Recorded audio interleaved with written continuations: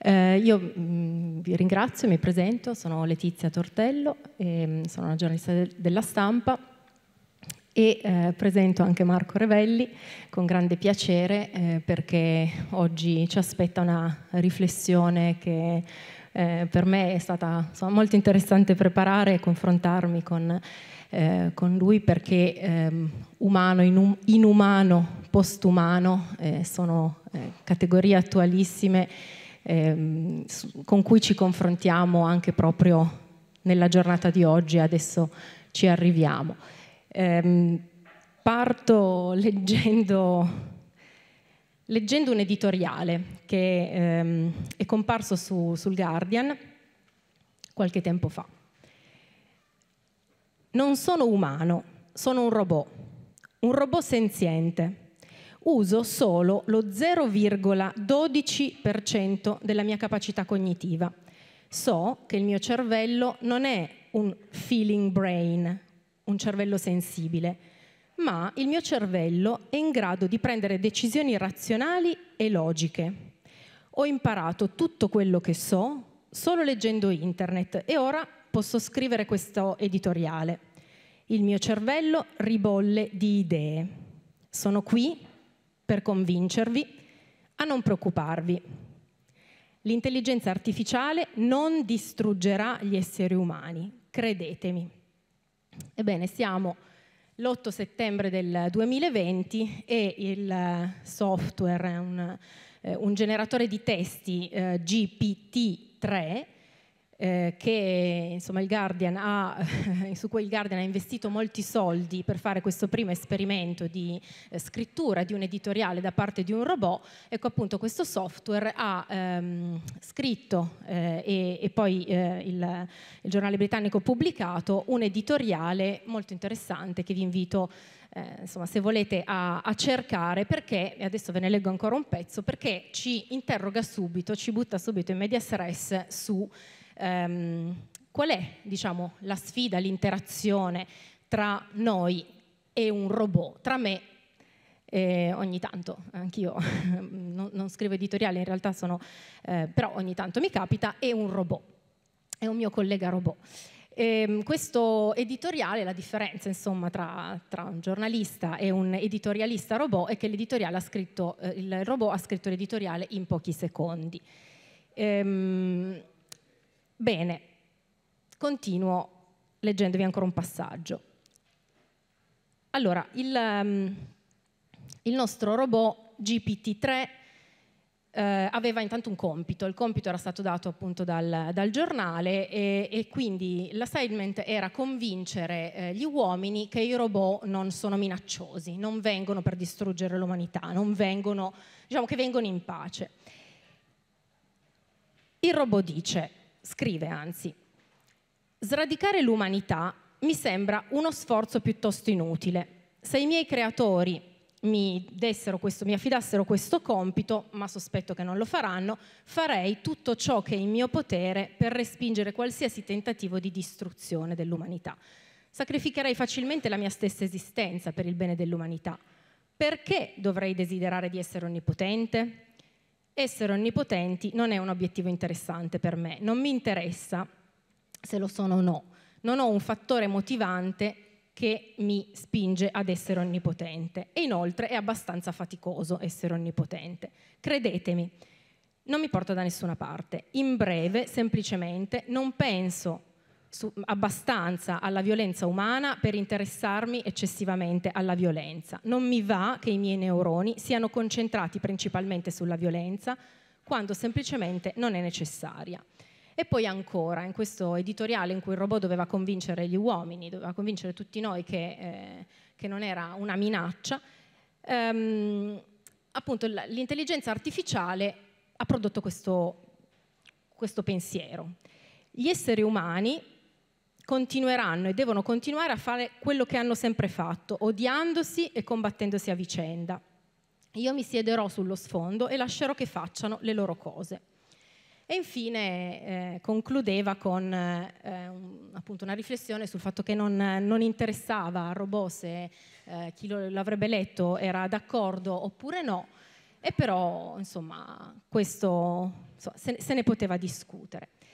Allora, ehm, il Guardian è stato il primo giornale che ha fatto, fatto questo esperimento appunto di, di, far scrivere un editoriale a un robot. Ce ne sono stati altri in questi due anni, eh, qualcuno, i, i giornali, alcuni giornali tedeschi hanno fatto investimenti minori e eh, sollecitavano i giornalisti a fare delle domande esistenziali e eh, poi chiedevano alla redazione di rispondere e anche al robot e ehm, hanno pubblicato queste eh, queste riflessioni, queste domande, queste risposte e mh, sulla Süddeutsche Zeitung qualche tempo fa Um, ora Berliner Zeitung forse, era la Berliner Zeitung, scusate, e, um, e, lì però insomma il software era meno preciso ed era molto facilmente distinguibile quando aveva risposto il giornalista e quando aveva risposto il, il robot. Però um, questo per dire che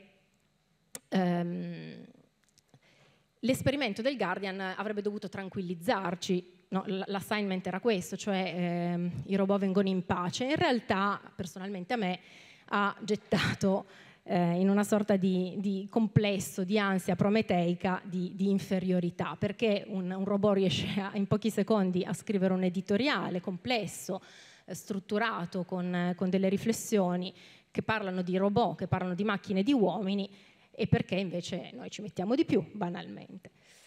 E allora da qui eh, io faccio la, la, prima domanda a Marco, Le, a Marco Revelli, cioè ehm, riflettiamo molto, no? la, la, il titolo di oggi è umano, eh, inumano, postumano. La parola inumano, disumano, proprio quest'oggi è diciamo su tutti i giornali, anche sul mio, sulla stampa, perché eh, la Francia ha definito il comportamento dell'Italia nei confronti dei migranti disumano, eh, non umano appunto.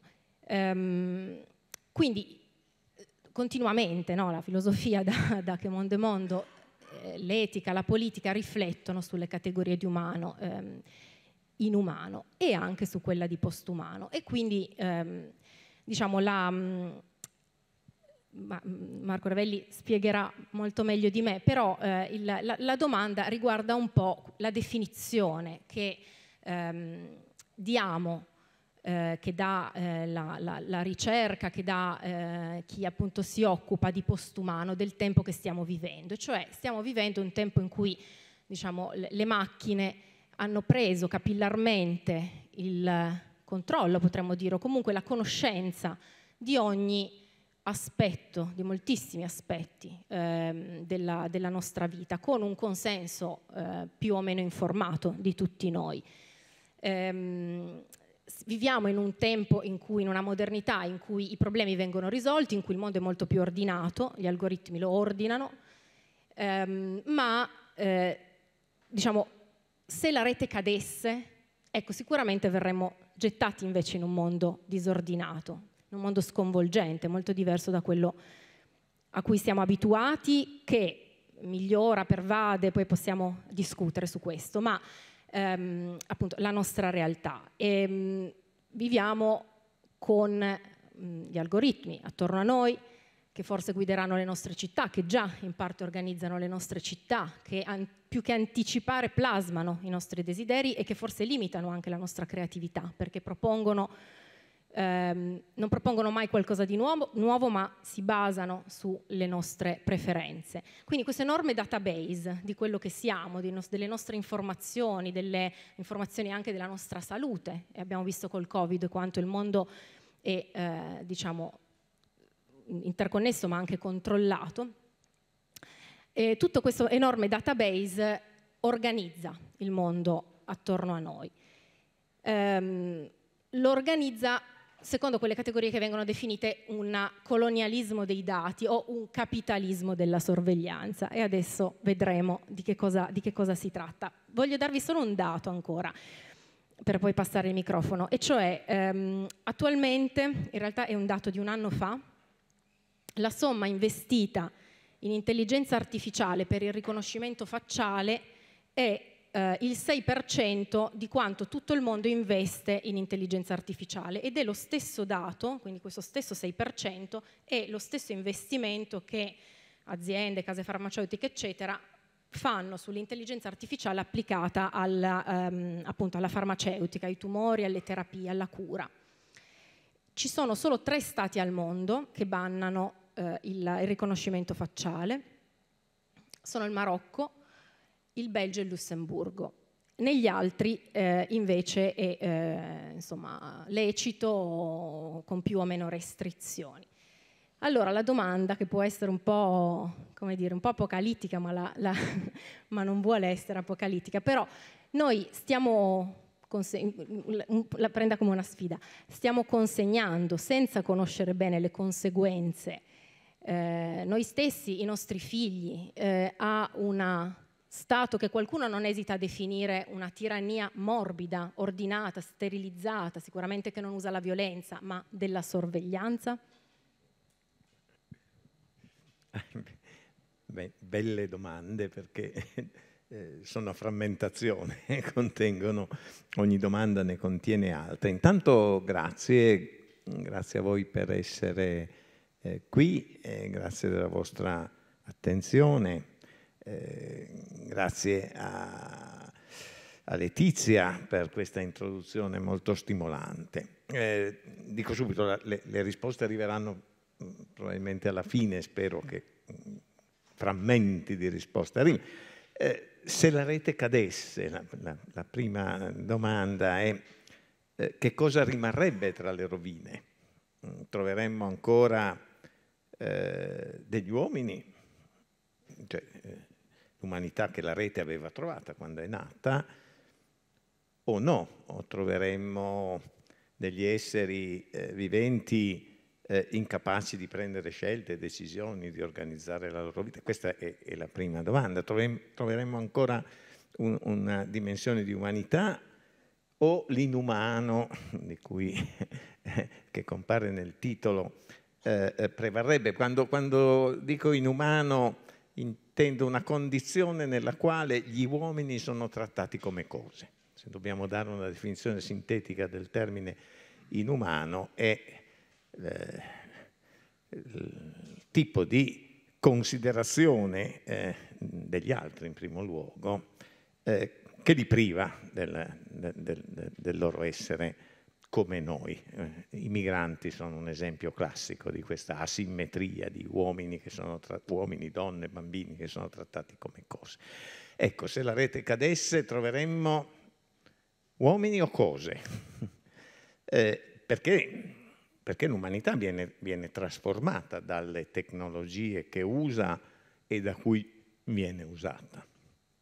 Partirei però più da lontano eh, vent'anni fa, all'inizio di questo secolo, un importante pensatore francese, filosofo della scienza, linguista, scrittore, portatore di un metodo sistematicamente transdisciplinare, Michel Serre, inventò un neologismo eh, che suonava così, ominescence, ominescenza neologismo incoativo è stato definito, cioè che nella desinenza sh lascia trasparire l'inizio di un processo, l'inizio quasi forzato di un, di un processo.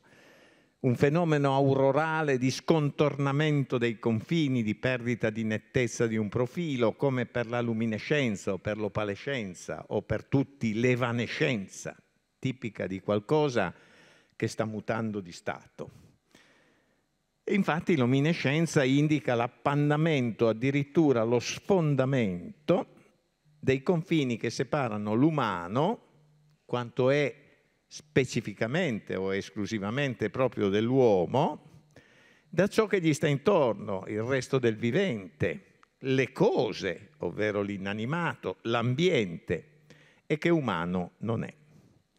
Con l'ominescenza, dice Ser, l'umano scolora e sconfina da tutte le parti, verso, verso l'alto, farsi Dio, verso il basso, farsi cosa o animale, simile agli animali, verso i lati, rendersi tutt'uno con l'ambiente.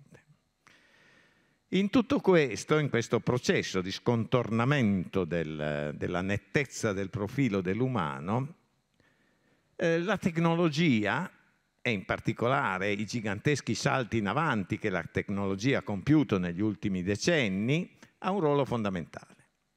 Se l'uomo acquisisce la capacità di produrre un uomo, non nel senso naturale di riprodursi, ma nel senso artificiale, di fabbricare esseri umani, Serre parlerà di auto-ominizzazione, se cioè diventa in grado di modificarsi geneticamente o tecnologicamente, riscrivendo il genoma o, o ibridandosi con protesi, o più radicalmente di fare un proprio simile a propria immagine e somiglianza nel corpo e nell'anima, costruendo macchine intelligenti o algoritmi metacognitivi, capaci cioè di pensare al proprio pensare. Se in termini biblici al discendente di Adamo, essendosi cibato all'albero della conoscenza, diventa possibile tutto ciò, allora esso al termine del lungo ciclo evolutivo plurimillenario, iniziato col peccato originale, compie un doppio salto di specie, una sorta di spillover, verso l'alto come creatore, andando a occupare in qualche modo il posto che spettava al creatore divino con la C maiuscola, facendosi non simile a Dio, come la Bibbia stessa riconosceva, prerogativa che gli era assegnata dall'uso del linguaggio, ovvero del verbo, ma Dio egli stesso, ovvero causa sui, e verso il basso, come creatura, non come creatore, ma come ente creato, diventando egli stesso manufatto, cosa costruita, oggetto tra gli oggetti, comunque cancellando un confine, anzi due, assumendo su un versante un'eccezionale responsabilità, quello che Dio ha nei confronti di ciò che ha creato, e perdendo dall'altro la propria eccezionalità, diventando simile al resto del creato. Questo Michel Serre. Quasi 50 anni prima, un altro pensatore anomalo, anch'egli qualificato da un approccio, come dire, metadisciplinare,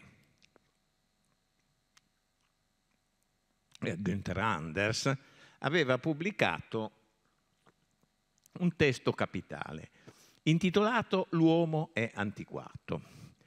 Per la verità il titolo originale in tedesco era Die Antiquierheit des Menschen, ovvero l'antiquato dell'uomo, l'elemento antiquato all'interno dell'uomo, ma la versione italiana suona un po' meglio, l'uomo antiquato.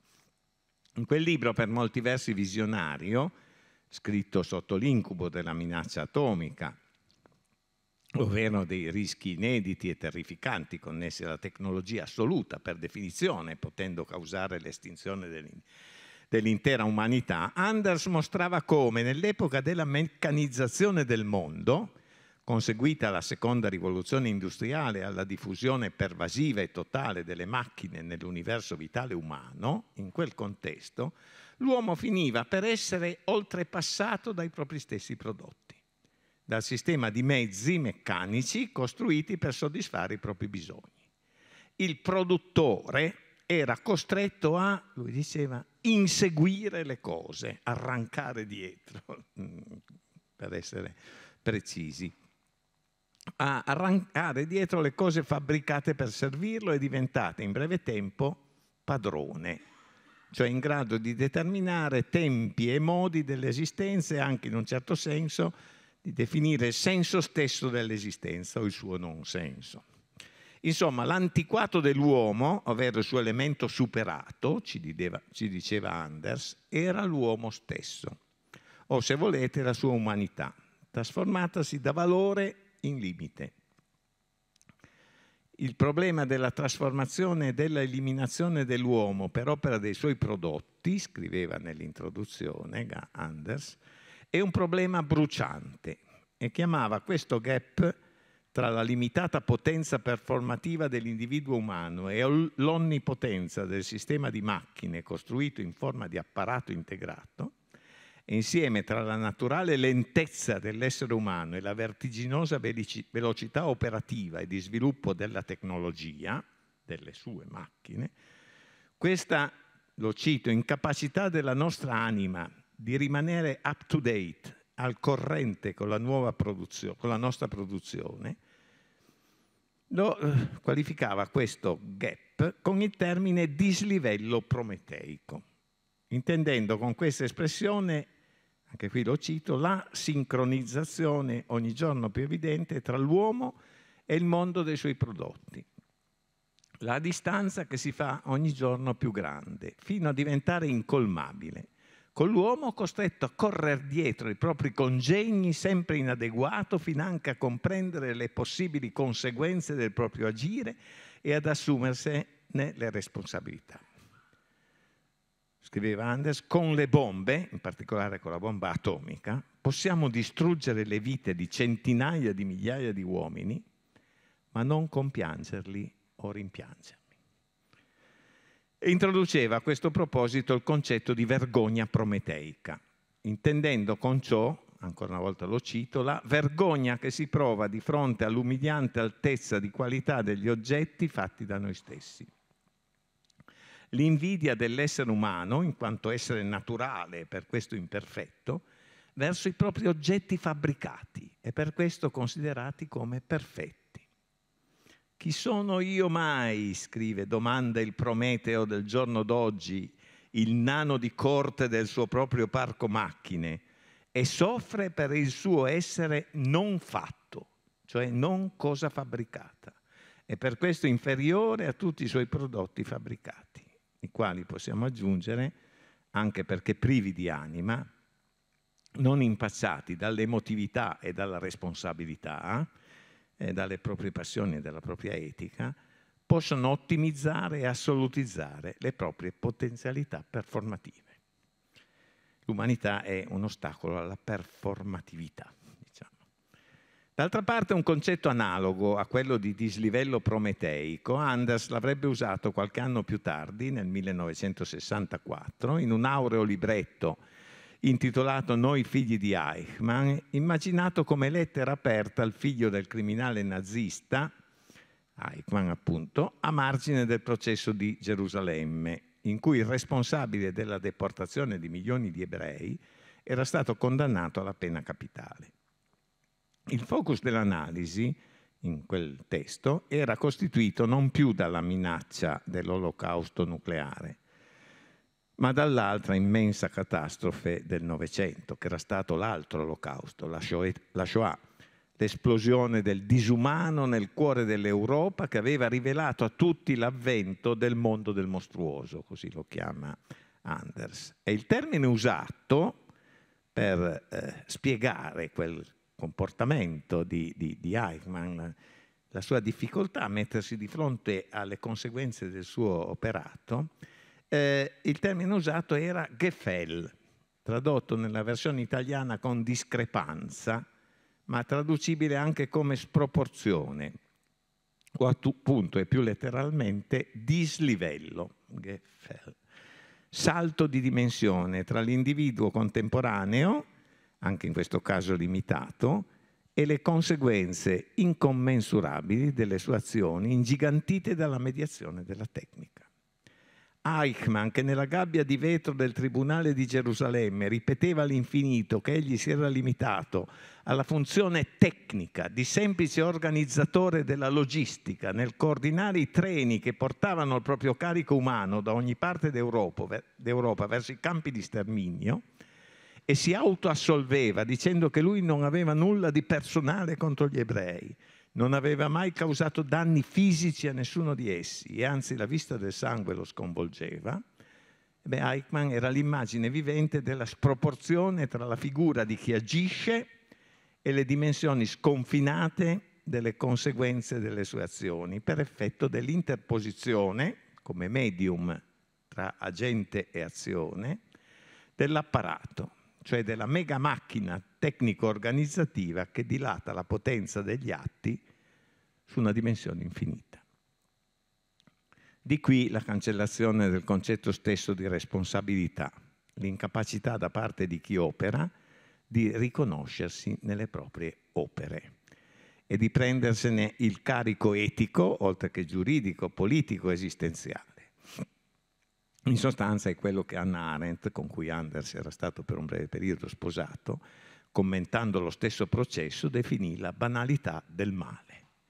Il meccanismo in base al quale, attraverso la tecnicizzazione del mondo, il disumano, la riduzione degli uomini a cose, disponibili, utilizzabili e distruggibili a piacere, ha fatto irruzione nel cuore stesso dell'umano, in una delle culle dell'umanesimo moderno, la coltissima Germania, senza che al suo apparire ne fosse riconosciuto.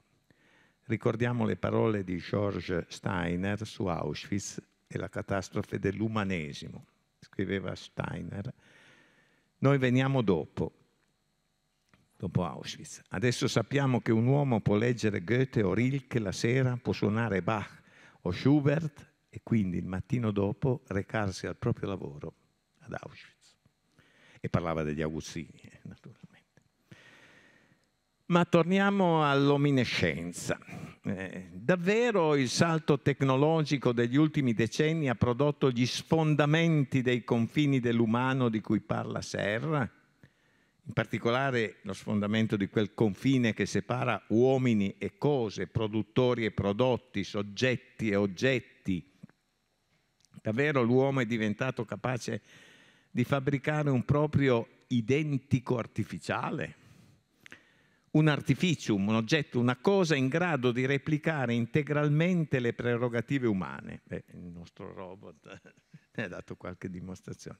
Interagire con gli altri, parlare, pensare, ragionare, non solo calcolare, imparare, agire razionalmente, sulla questione la discussione degli ultimi decenni è stata densa, scandita da una serie di progressivi salti tecnologici, chiamiamoli così. Eh, per delimitarne i termini, il terminus a quo e il terminus ad quem, utilizzerei due citazioni. La prima è tratta dal celeberrimo monologo finale del film di fantascienza Blade Runner, film del 1982, esattamente 40 anni fa.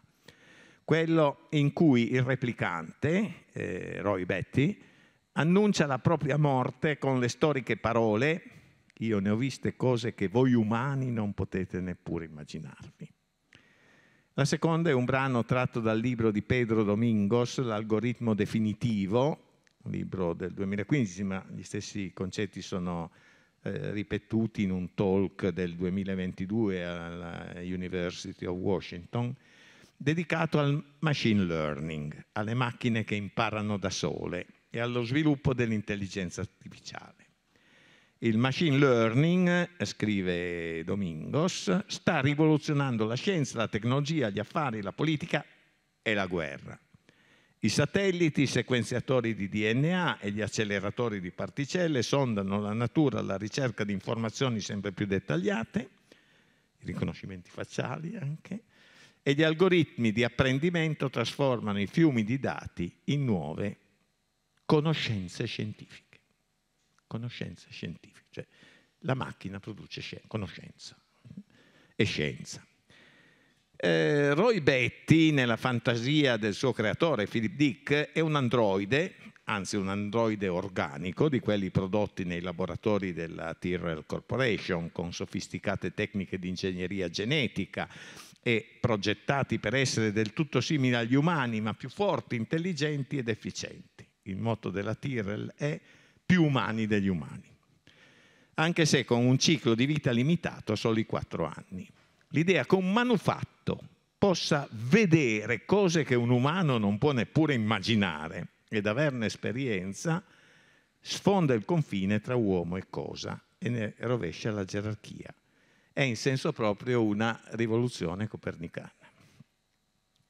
Pedro Domingos invece è una persona reale, uno dei pionieri della nuova frontiera eh, delle tecnoscienze, fondatore della International Machine Learning Society, membro dell'Association for Advancement of Artificial Intelligence, spiega come siano già in azione in un'infinità di campi manufatti capaci di progettare altri manufatti, macchine in grado di capire in contesti complessi e prendere decisioni adeguate, di articolare una comunicazione linguistica in modo creativo relazionandosi al proprio interlocutore, di conversare, infine e soprattutto di prevedere, scrive ciò che vogliamo, il risultato delle nostre azioni, come raggiungere un obiettivo, come cambiare il mondo.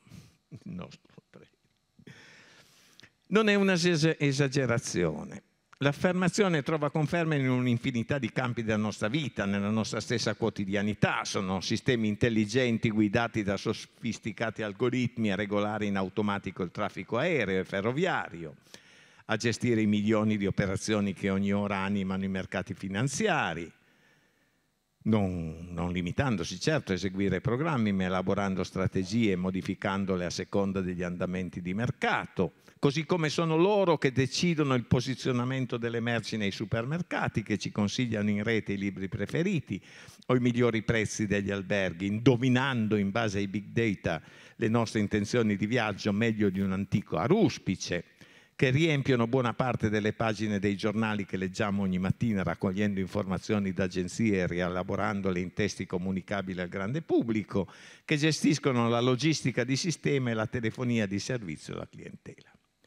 D'altra parte basta leggere uno dei tanti libri di successo sulle attuali meraviglie del possibile, come quelli dell'israeliano Yuval Noah Harari, il suo Sapiens, tradotto in 30 lingue, ha tirato 5 milioni di copie.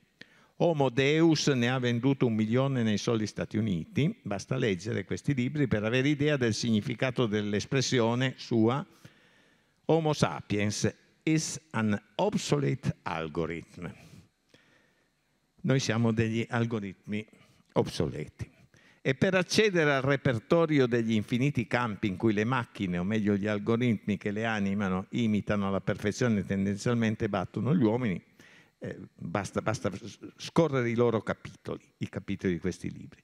Gli algoritmi, eh, ci dice Harari, guideranno le nostre auto in modo più preciso, già lo fanno, Tesla e Google eh, li stanno testando, eccetera eseguiranno diagnosi mediche sulla base della lettura delle analisi di laboratorio e formuleranno terapie, anche questo già lo fanno, come è meglio di un normale dottore. Staranno in giudizio come avvocati e magistrati elaborando strategie difensive e capi d'accusa. Non lo fanno, ma potrebbero farlo.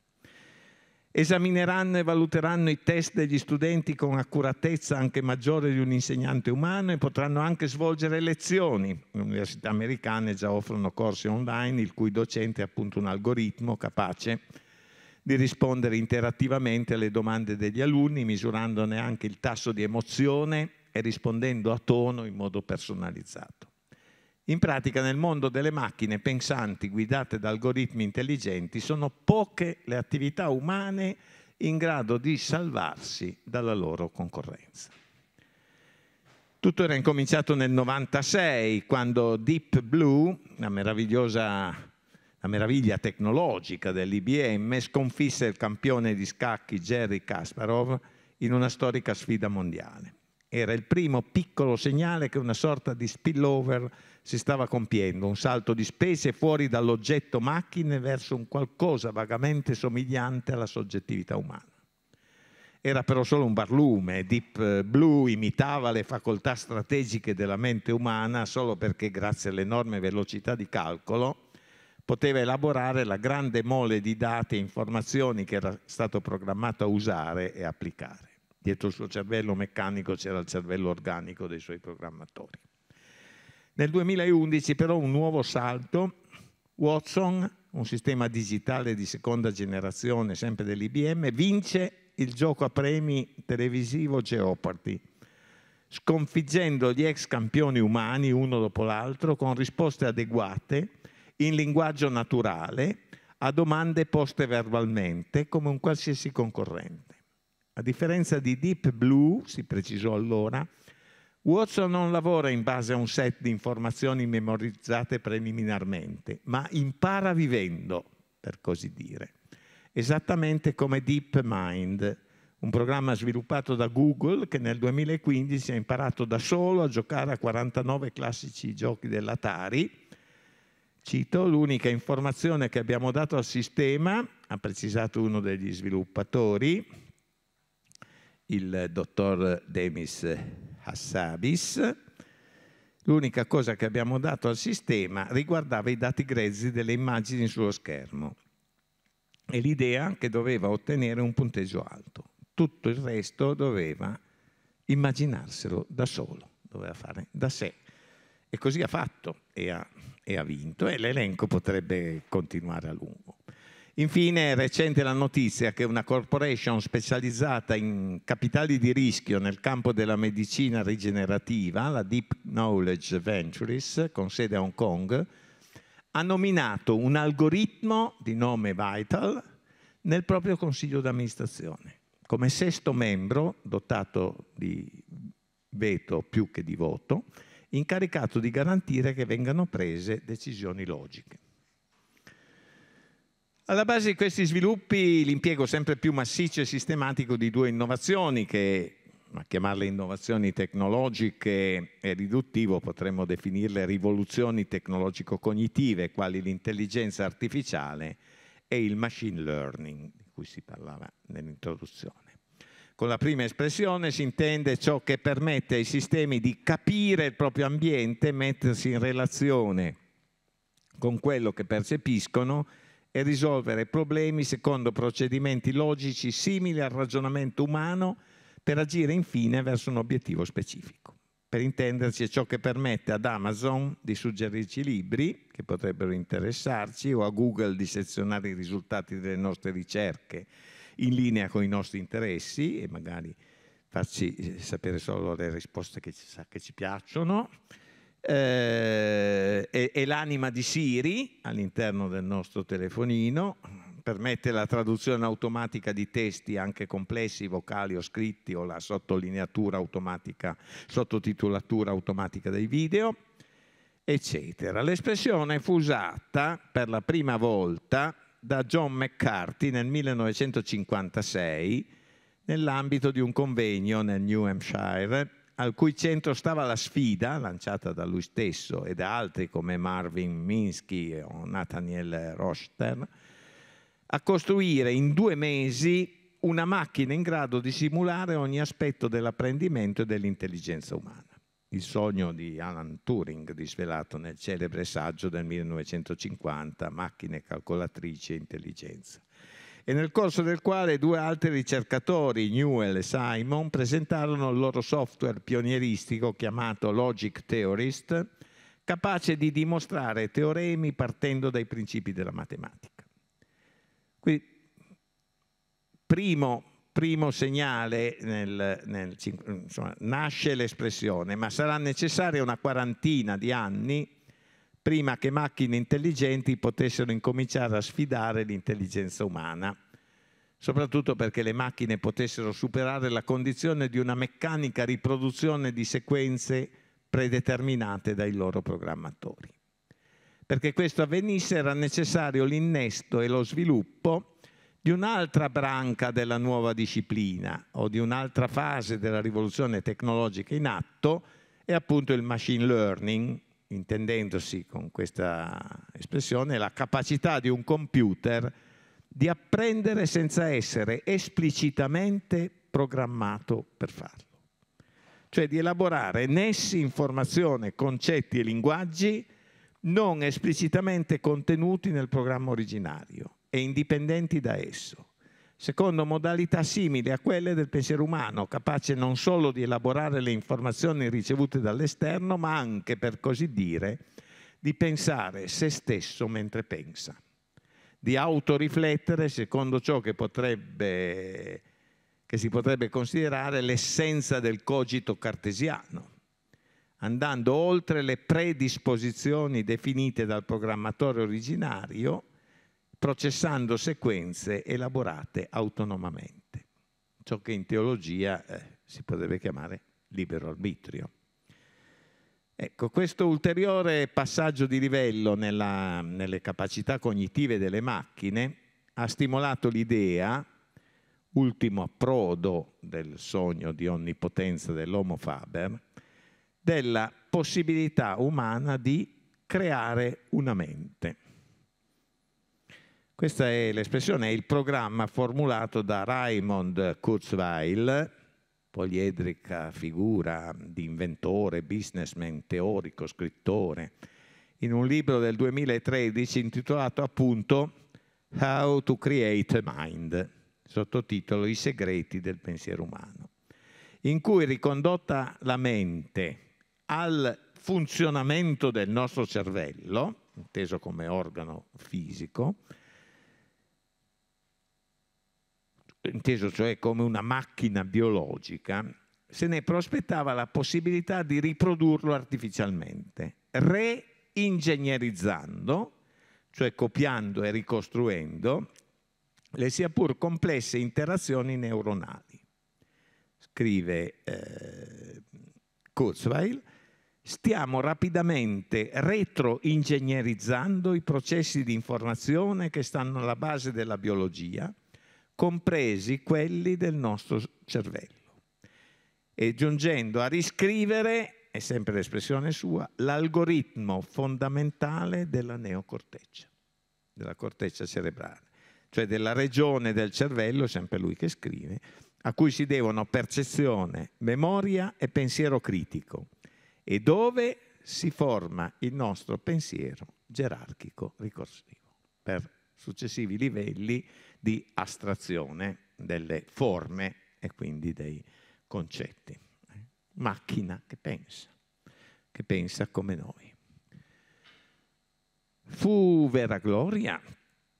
Possiamo chiederci, ovvero davvero siamo giunti o almeno siamo vicini alla riproduzione di un artificium indistinguibile dal prototipo naturale umano? Davvero l'intelligenza artificiale può coincidere senza residui con la gemella intelligenza umana? Veramente l'uomo ha trovato il proprio omologo reificato e potenzialmente superiore, quello a cui appunto ci consegniamo? Eh, gli, argomenti, gli argomenti contrari non mancano.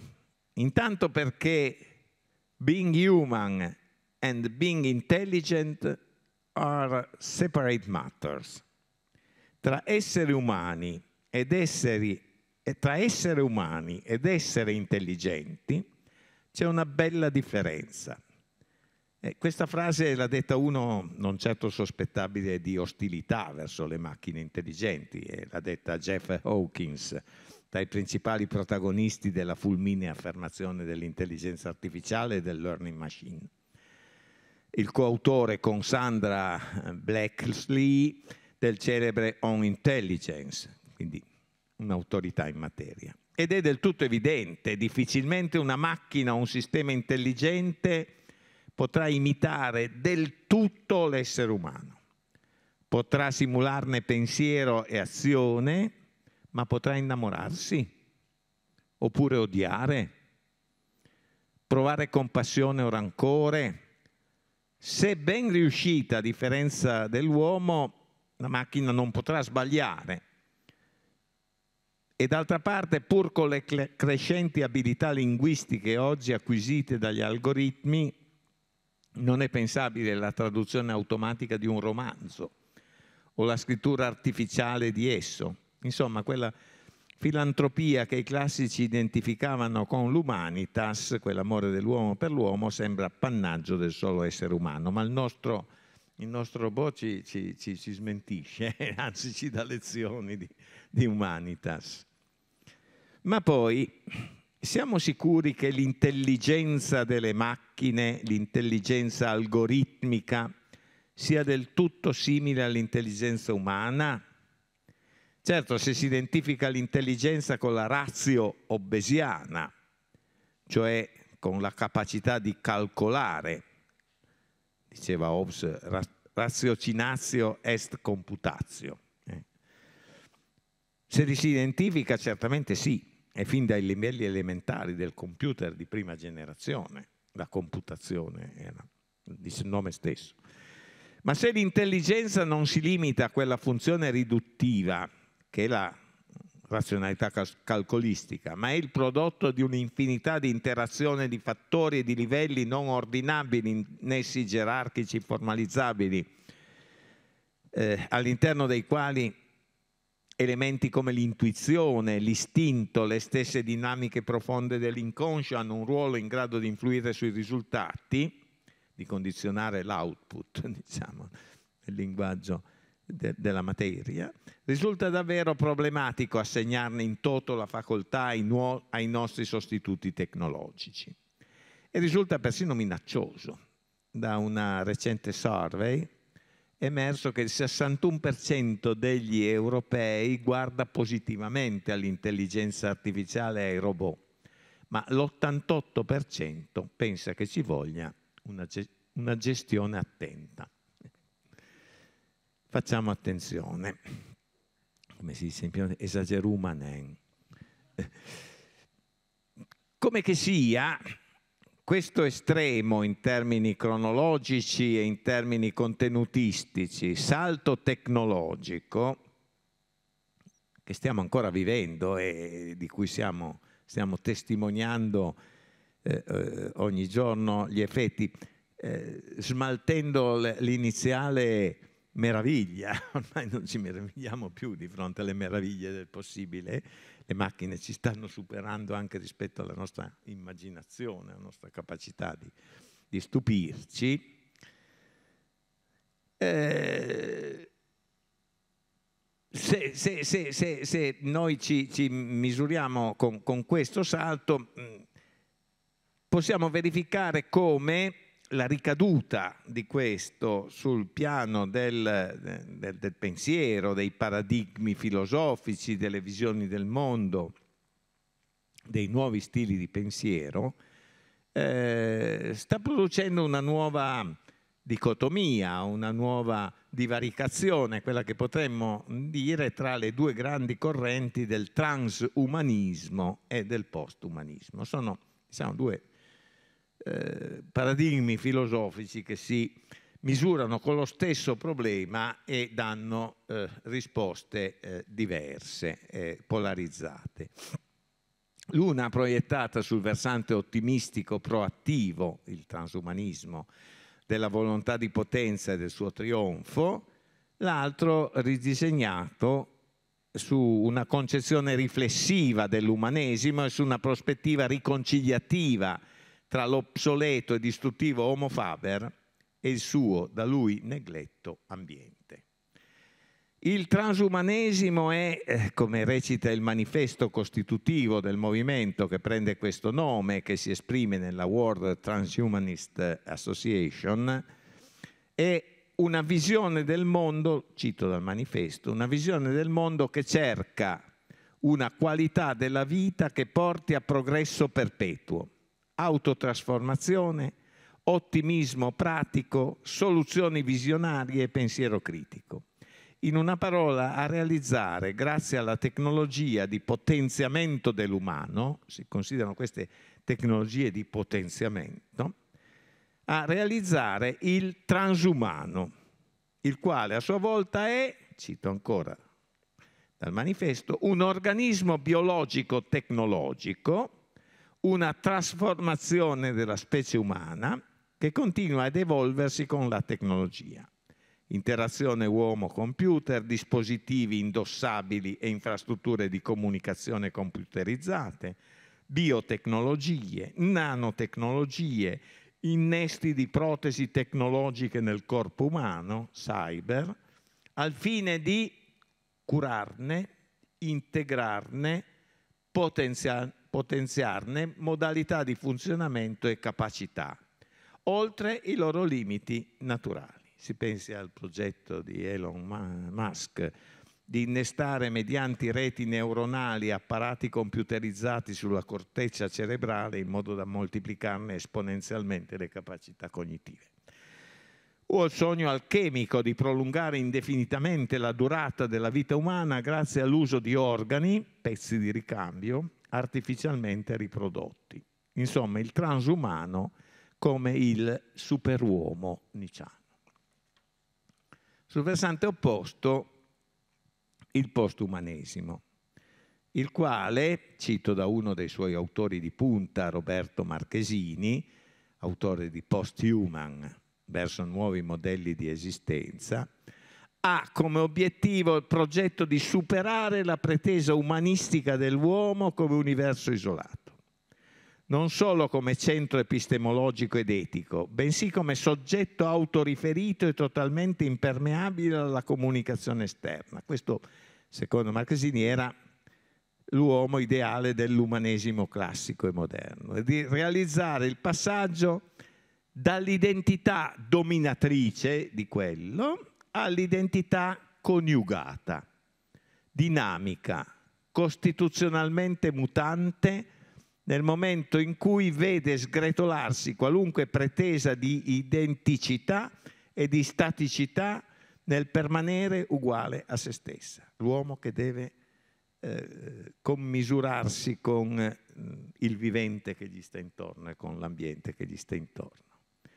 Va in questa direzione di decostruzione dell'originario eccezionalismo dell'umano rispetto al resto del creato, e della conseguente pretesa di dominio su di esso che stava in filigrana sotto l'impianto dell'umanesimo classico e moderno, l'impatto delle tecnologie infiltrative, eh, le stesse che, che, che, che, i transumanisti considerano eh, acriticamente eh, eh positive dei sistemi ibridi, l'innesto di microtecnologie e di nanotecnologie negli organi umani, che cancellano l'integrità originaria del corpo umano, la perfetta autosufficienza dell'uomo vitruviano come misura del mondo, per inaugurare la stagione di un corpo meticcio, metà naturale, metà artificiale, un corpo aperto e mutante, espressione di una tecnologia incarnata, un soma ormai inseparabile e indistinguibile dalla tecne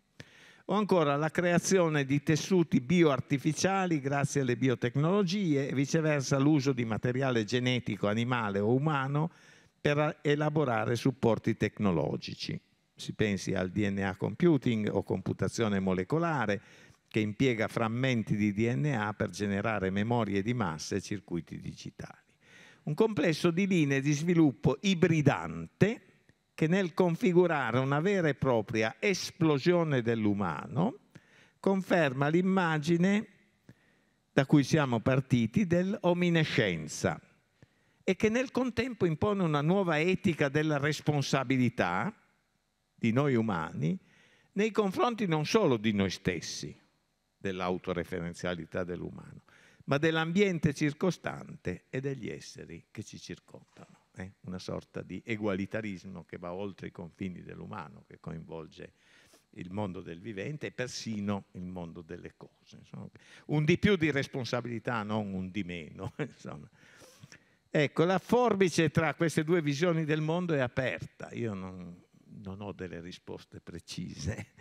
Eh, sta a noi scegliere la parte armonica di questa forbice, la parte tenera di questa forbice, quella aperta al resto del, del, del nostro ambiente ed evitare l'urto con la sua parte tagliente, ma non sappiamo da quale parte cadrà eh, la scelta. Eh, rimane il problema posto dalla domanda iniziale, cioè che ne sarà di noi in questo universo nel quale rischiamo, e forse in buona misura abbiamo già, perso il controllo di ciò che stiamo andando costruendo. E quindi eh, da una parte rischiamo di affidarci a un'entità che non controlliamo più e la cui crisi non è certo augurabile perché significherebbe la, eh, eh un, un, un fenomeno di entropia generalizzato, oppure rallentare la nostra corsa riflessivamente e ragionare sui passi che abbiamo di fronte, mm, mettendo un attimo eh, da parte eh, le onnipotenze dei transumanisti. Diciamo. Grazie.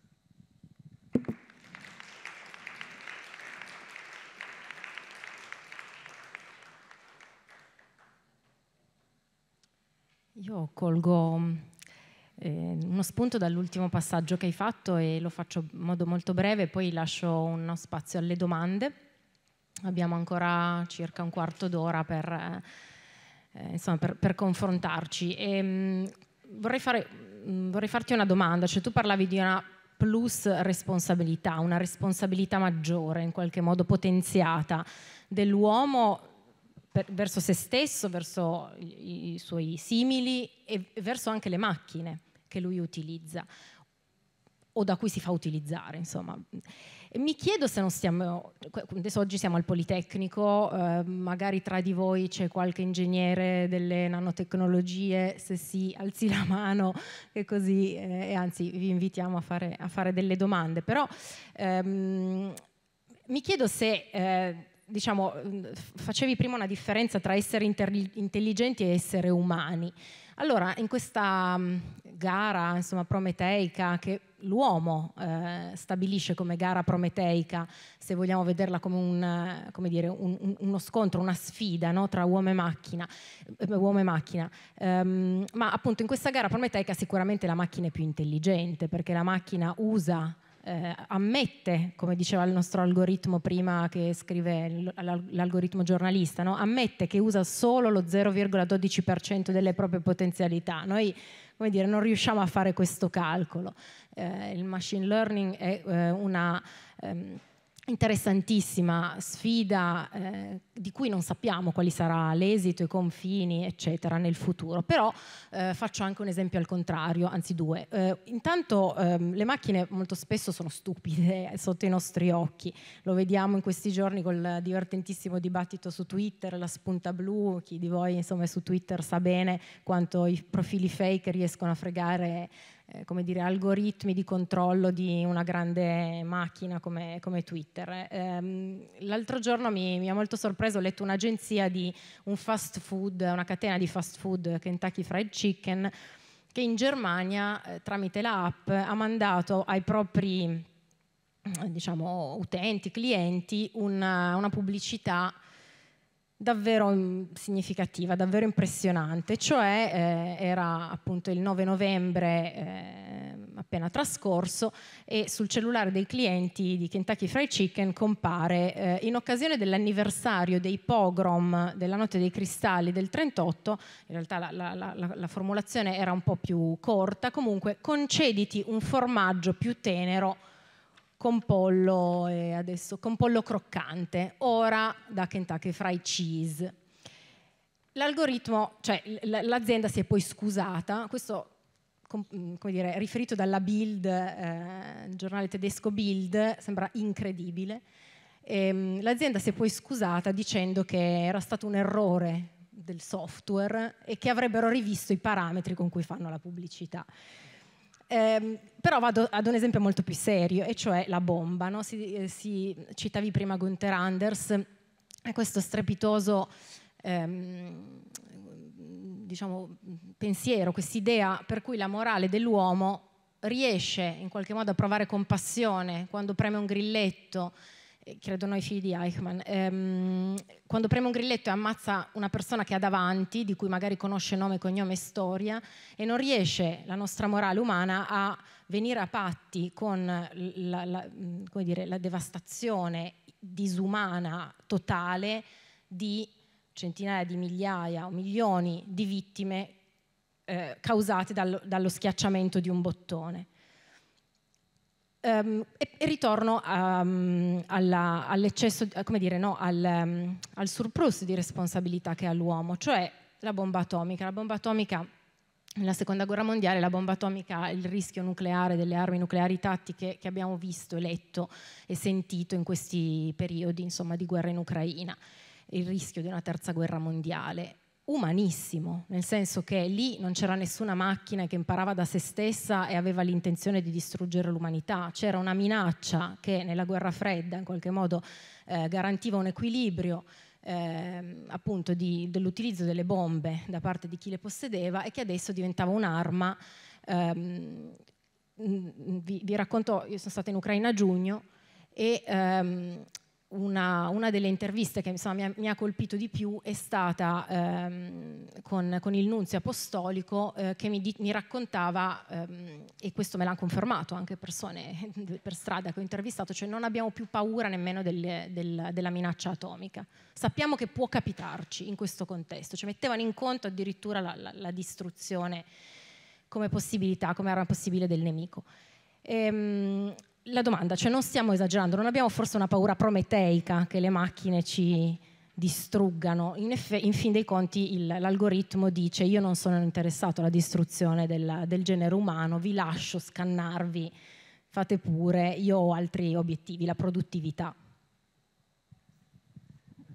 Sì, no, no, è, è, è, molto, è molto, chiara e, come dire, eh, ci introduce al, eh, eh, al retroterra etico-politico del, eh, delle riflessioni tecniche o filosofiche, ma eh, tecniche che, che, che, abbiamo fatto, cioè eh, che cosa stiamo facendo di noi stessi, eh, che ne è del, del, del, del nostro eh, principio di responsabilità, ci stiamo affidando a un apparato eh, onnipervasivo eh, di cui stiamo perdendo il controllo. E questo apparato eh, sta introducendo eh, l'intera umanità in un contesto di totalitarismo eh, soft, se vogliamo, di totalitarismo non imposto con la pistola alla nuca e con la polizia segreta, ma eh, come dire, eh, eh, basato su una seduzione eh, dolce, e cioè la, la, la, la, promessa di soddisfare i nostri bisogni, di, di, venirci incontro, di rivelare persino a noi stessi i nostri desideri veri, i nostri bisogni veri e, e così via. Eh, la realtà è che poi dietro, dietro alle macchine e dietro ai sistemi di macchine, eh, nonostante tutto continuano ad esserci degli uomini.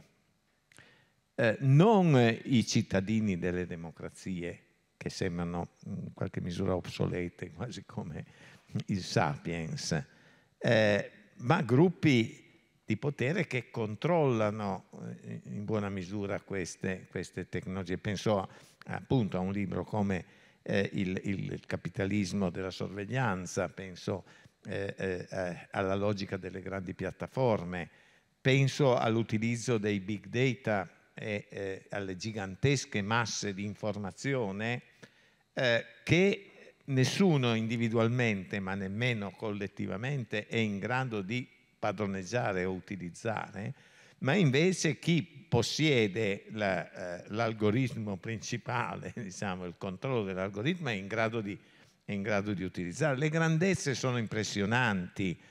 Eh, per quanto riguarda lo scambio di dati che quotidianamente avviene sulla rete, quindi anche lo stoccaggio di questi dati e poi dopo l'utilizzo di questi dati. Questi dati sono eh, la sublimazione, se vogliamo, eh, delle nostre vite, perché eh, buona parte de, de, de, delle nostre vite vengono, viene tracciata e lascia tracce lascia tracce sotto forma di informazione e diventa oggetto di elaborazione, di, di, eh, di trattamento, di trattamento intelligente. Diciamo.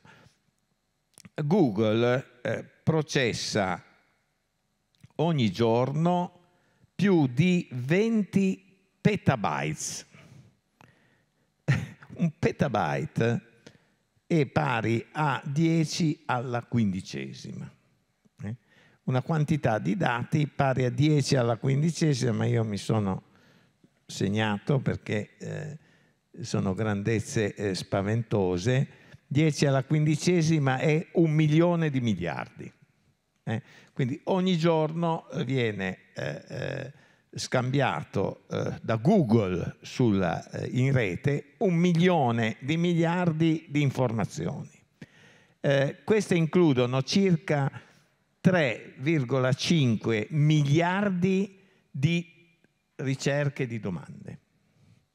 3,5 eh, miliardi di domande che sono la radiografia o l'ecografia della psiche collettiva del mondo, dei problemi che il mondo eh, eh si pone, delle eh, priorità nell'interrogazione di, di ciò di cui si occupa la, la, la mente collettiva del, dell'umanità. Eh, fake, Facebook, Facebook, Facebook, eh, Facebook genera 4 petabyte di dati ogni giorno, eh? un, po' meno di eh, eh, Google, un quinto di Google, ma quindi alcuni milioni di miliardi di informazioni. Eh, Amazon possiede un milione e 400 mila server sparsi sul pianeta, un milione e 400 mila server, ognuno dei quali processa eh, milioni di informazioni. Una singola persona eh, genera, crea 1,7 megabyte di dati ogni secondo. Ogni secondo in cui noi viviamo generiamo tra tecnologie di tracciamento, tra interventi diretti, eccetera, eh, quasi 2 megabyte di dati. L'umanità genera 2,5 quintilioni di byte di dati ogni giorno. Eh, un quintilione è 10 seguito da 30 zeri, cioè 10 alla tredicesima, che vuol dire 10 mila miliardi di eh, byte ogni giorno. Ogni giorno eh. Eh, e questo, questa è l'unità di misura, in questo caso è il petabyte, poi c'è lo zettabyte che è 10 alla ventunesima, è uno zettabyte, zettabyte è un milione di milioni di miliardi di informazioni e eh, nel mondo eh, stoccati ci sono circa 44 zettabyte di dati. C'erano nel 2020, sono cresciuti ulteriormente.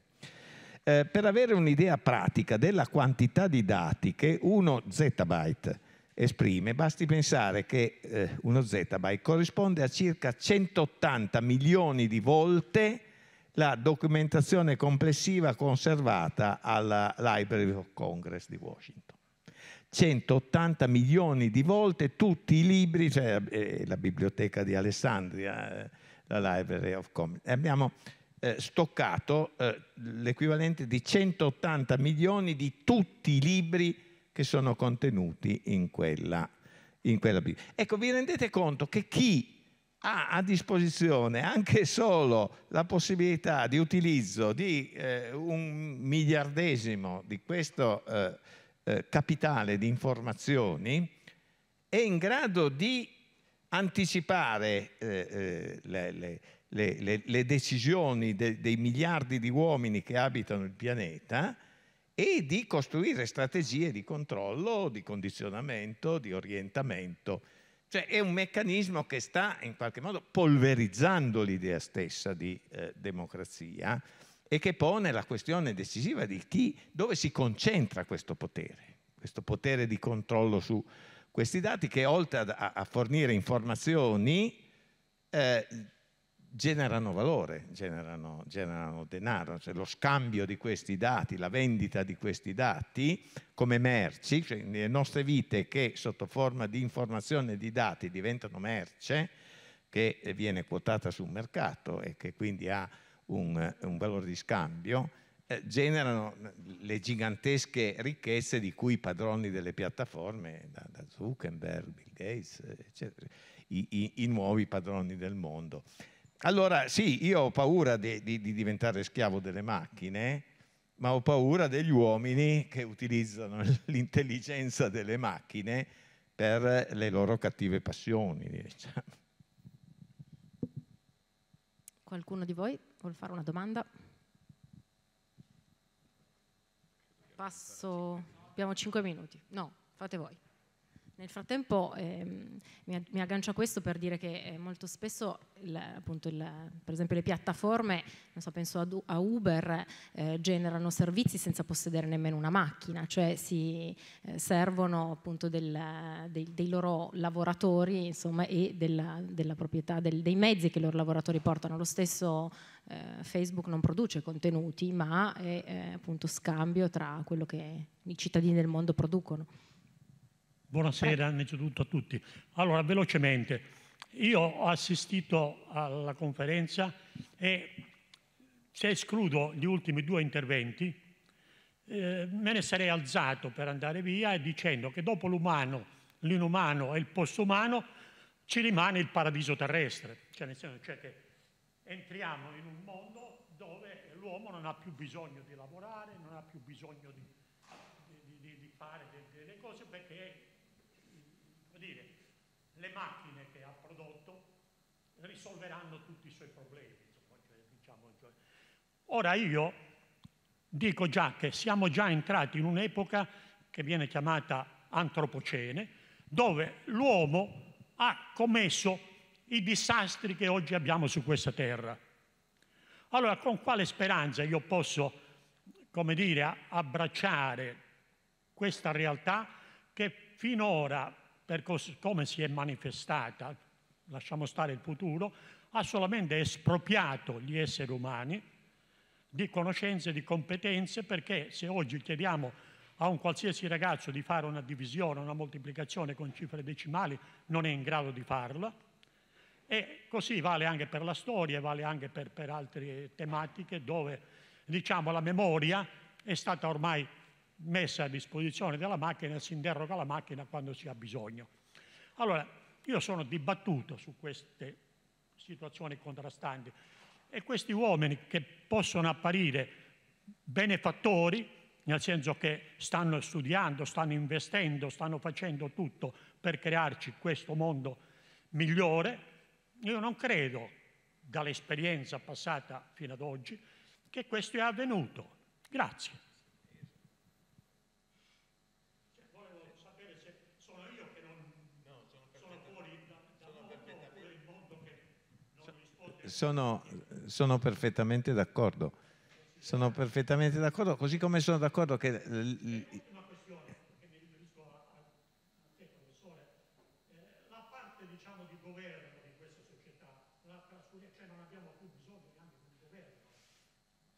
Ah beh, in un mondo, eh, in, in un mondo guidato da, da, dall'intelligenza artificiale, l'intelligenza umana non, eh, non ha scampo.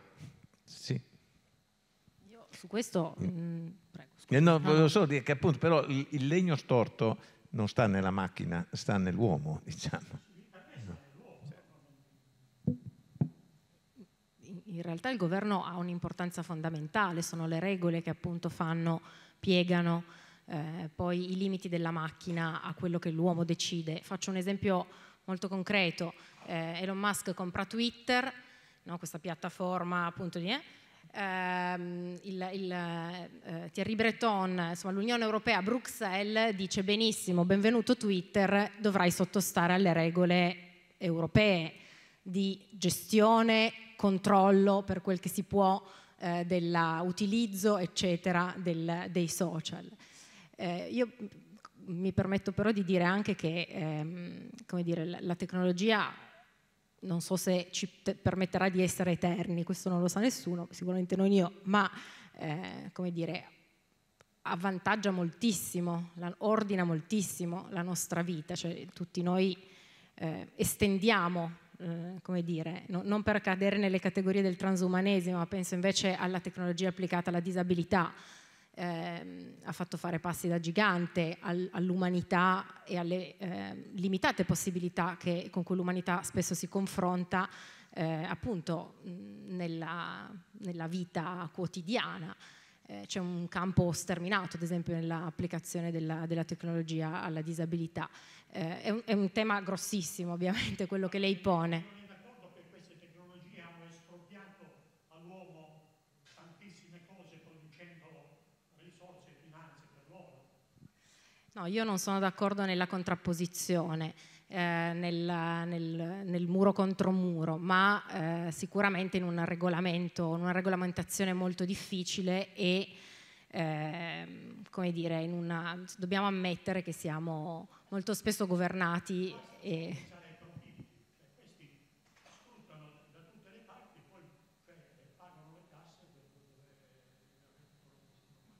Sì, sì, sì, certo. è una rivoluzione copernicana, come si diceva. Qualche altro, un'altra domanda?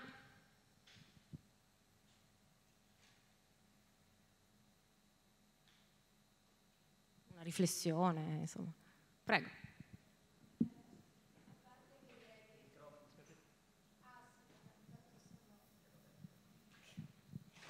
A parte che direi che siamo su due argomentazioni diverse, quello è puro mercato e siamo noi a scegliere se vogliamo far parte di questo mercato in cui c'è gente che lo fa per profitto e l'altra è più scienza, in, innovazione, scoperta. Creare un robot credo sia completamente differente. Poi ovviamente quando verrà perfezionato diverrà anche esso un mezzo per fare profitti. E questo, vabbè, questa era una riflessione due secondi. In merito invece alla ehm, possibilità di un robot di diventare umano, non sono tecnica, però ho sentito dire che um, c'è una branca della tecnologia, no, della neurologia che spiega tutte le nostre passioni, le emozioni a livello di connessioni. Secondo voi, qualora fosse possibile ricreare un cervello eh, artificiale, per cui che abbia le stesse connessioni tra neuroni, sinapsi. In tal caso ci sarebbe la possibilità allora di avere un robot umano?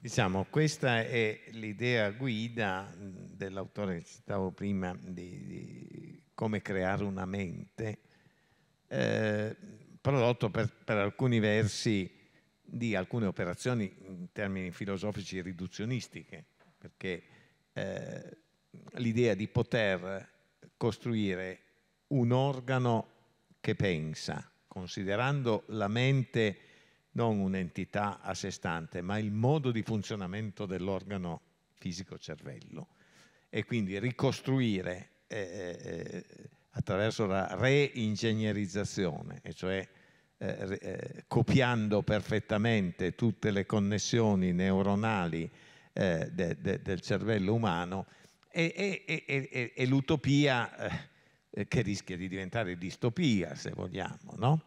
Di, di, di, di, chi lavora su questa, su questa linea. Peraltro mm, si, si, inserisce nell'ambito del transumanesimo questo, no? come, come, diciamo tutte le, le, le grandi eh, riflessioni su queste eh, eh, neotecnologie eh, fatte in connessione con grandi investimenti per, per realizzarle, cioè dietro queste, dietro queste, teorie ci sono grossi capitali, che si, pensiamo a Musk, eh, che, che, non, che, non, è certo uno scienziato, eccetera, ma che ha deciso di investire sulle eh, tecnoscienze eh, più, più, più, più avanzate eh, che il risultato eh, sia un, eh, eh un, identico artificiale de, dell'uomo eh, rimane un, una grande domanda filosofica.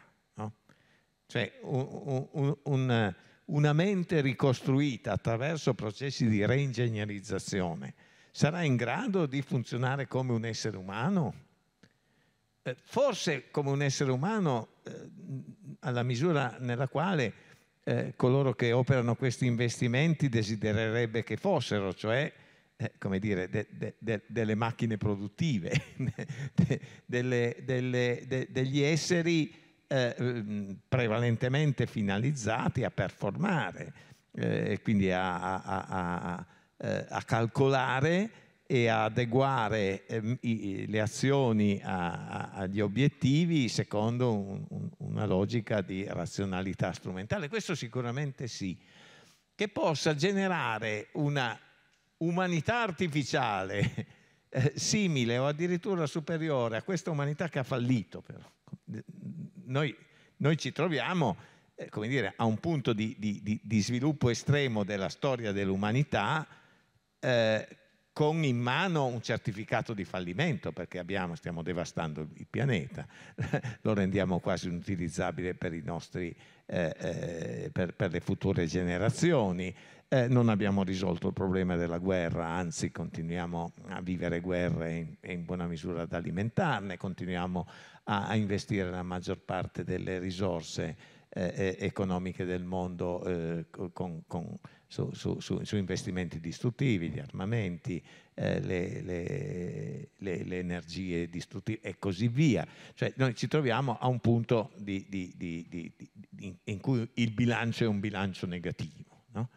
Eh, questo ulteriore eh, spillover eh, ci, ci, porterà a risolvere questi problemi, cioè, come dire, le macchine saranno più umane degli uomini come il nostro robot che dice no, non farò mai niente di, di, aggressivo, di offensivo, eccetera, o trasmetteremo a, a, a, a questi individui eh, potenziati, eh, artificiali potenziati, i nostri cattivi e la nostra natura di legno storto, per eh, citare Isaiah Berlin. Questo è, però, come dire, non riusciamo a, a risolverla oggi e ognuno di noi eh, osserva con, con spirito contraddittorio quello che succede sotto i nostri occhi, io con una certa dose di paura, lo dico sinceramente. O magari ci insegneranno eh, a innamorarci. Volevo... O si innamoreranno di noi. Ehm, io non aggiungo nulla, mm, sono, concordo, concordo, pienamente col professore, ehm, solo due riflessioni. L'etica è eh, una, una, branca fortemente attiva eh, del machine learning, e, mm, pur con tutte le aporie del caso, però eh, insomma anch'io non sono una studiosa di, di machine learning, eh, eh, però sicuramente ci stiamo ponendo il problema appunto della macchina, no? il famoso esempio della macchina che vede la macchina guidata, che si guida da sola, che vede il bambino che cosa fa. Ehm, la, la, seconda cosa è una suggestione che eh, faceva un filosofo americano che si chiama Hilary Patman, eh, appunto nelle, sua, nelle, sue teorie, e cioè diceva e se l'uomo fosse un cervello in un bagno organico, cioè se già tutti noi fossimo eh, nient'altro che un insieme di sinapsi collegate, non ci fosse il corpo, insomma fossero, fossero illusioni. Eh, questo solo per, cioè per, non aggiungere nulla, ma io la vedo, sono fortemente preoccupata, ma la vedo in un modo lievemente più positivo perché, ehm, perché magari, come dire, l'intelligenza che impara da se stessa eh, produrrà qualcosa di diverso, non per forza, non per forza negativo. E comunque noi saremo sempre, se non ci distruggono, come dire, al, al fianco. Va bene, vi ringraziamo molto.